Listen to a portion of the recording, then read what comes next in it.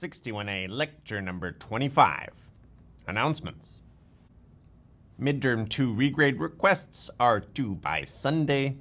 Feel free to talk to your TA if you have questions about the solutions to any exam question. Homework 9 is posted. It's due next Tuesday.